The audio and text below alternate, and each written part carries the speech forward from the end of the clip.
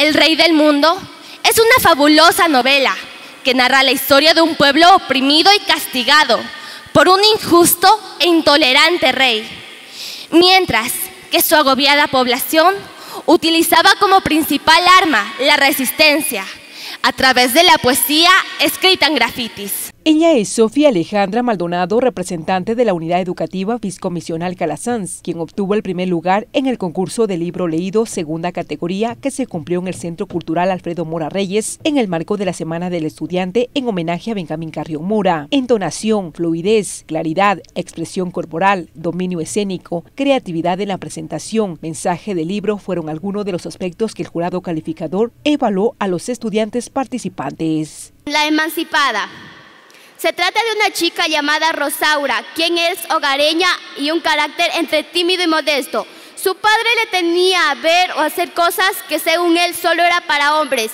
Por eso vivía culpándole a su madre por el carácter liberal de Rosaura. Pues aquella familia esconde un secreto que la mantiene huyendo por varias generaciones.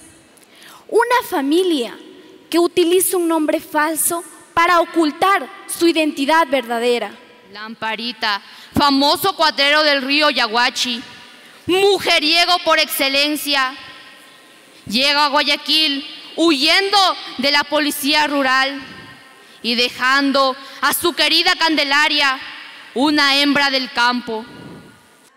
Atahualpa, Una niña dorada, Don Quijote de la Mancha fueron algunas de las obras literarias de reconocidos escritores lojanos que presentaron. Estudiantes de 23 planteles educativos de la ciudad, así como de las parroquias rurales de Taquil, Santiago, San Pedro de Vilcabamba y San Lucas, participaron en el concurso de libro leído. Todos podemos demostrar nuestros talentos, nuestras capacidades de lo que podemos hacer y representar a nuestro colegio con mucho orgullo y con mucho honor. Es una muy buena organización ya que nos incluyeron también también a las parroquias rurales y nos incentivan, en esta inclusión nos incentivan a, mostrar nuestros talentos y a, prepararnos y mostrar que en las parroquias también hay mucho talento, igual que en la ciudad. La iniciativa de seguir adelante, de tenerlas, de que todos podemos y todos podemos coger un libro y saber lo que tiene oculto aquello y para poder aprender más de todo lo que no sabemos aún. Padres de familia y docentes consideran que este concurso promueve a los estudiantes el hábito de la lectura, así como también la reflexión creativa y crítica. Este programa es muy importante por cuanto el alumno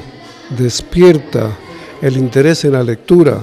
En segundo lugar, el alumno pierde el miedo de intervenir eh, dentro de la sociedad. Es muy interesante para que los estudiantes puedan demostrar las destrezas de lo que es el lenguaje hablado buena porque mediante ellos también permite que los libros sean muy buenos guías en su vida diaria y también ellos eh, permite también desenvolverse como personas con más valores dentro de esta sociedad que realmente carece mucho de valores hoy en día. La estudiante Cruzcaya Huellas de la Unidad Educativa Bilingüe Manuel J. Macas Minga de la parroquia San Lucas obtuvo el segundo lugar. María Ángel Galdemán Villamagua, estudiante del Colegio Antonio Peña Celi, se hizo acreedora al tercer lugar mientras que los estudiantes Rosa Luarte Medina del Colegio Hernán Gallardo Moscoso y María Ángeles Río Frío de la Unidad Educativa Guillermo Herrera de la Parroquia Taquil recibieron menciones de honor.